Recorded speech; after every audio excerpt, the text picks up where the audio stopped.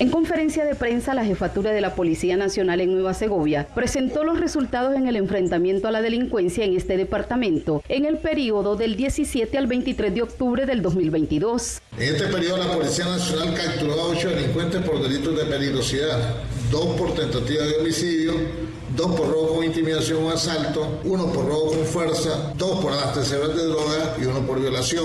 Estos delitos se registraron en los municipios de Quilalí, Jalapa, Ocotal, Santa María y Dipilto. Acá tenemos dos delincuentes presos por el delito de tentativa de homicidio.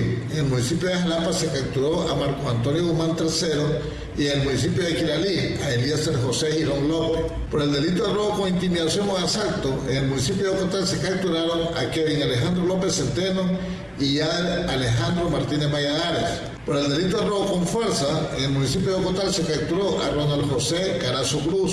Por el delito de abastecedores de droga, en el municipio de Aipinto se capturaron a José Miguel González Vargas y Jairo Amílcar Centeno Laguna.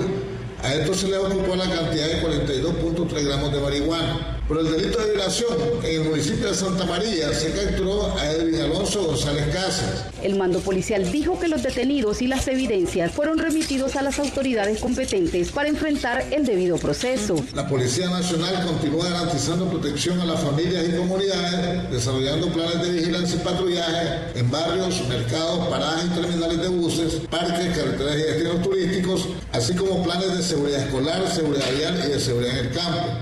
Para Crónica TN8 les informó Erika Monge.